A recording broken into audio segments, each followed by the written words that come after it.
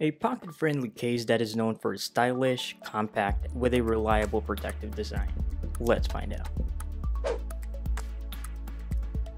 This is the OtterBox Commuter Series case for the iPhone 11 Pro Max and is also available for the iPhone 11 and iPhone 11 Pro.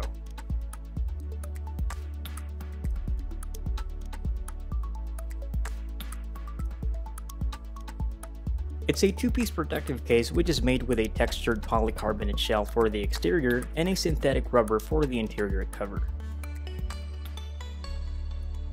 Looking at the interior of the case, it has these shock-absorbing patterns that protects the back glass of your device. And as well as the air pockets right through the corners that helps to disperse impacts from accidental drops. To install the case, simply put on the rubber interior cover first by snapping it around the device. Then insert it into the outer shell starting from the bottom and gently push it around the shell, making sure that the inner rubber cover is correctly intact to ensure that the case is properly installed. The case has a raised beveled edge that guards the screen of your device from scratches and scuffs, and is also compatible with most screen protectors.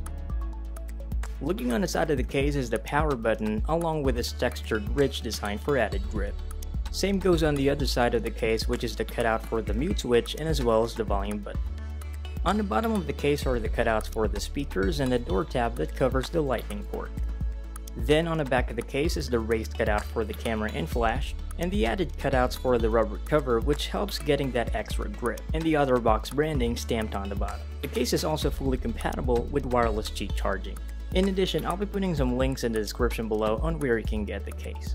This commuter case by OtterBox has been one of my favorite classic case, and having it said to be a commuter case, it is really made to go along with my daily grind conveniently, while having that peace of mind knowing that the device is very well protected. For more awesome gadget accessory reviews, please don't forget to hit like and subscribe. This has been Trey from Mobile Code PH.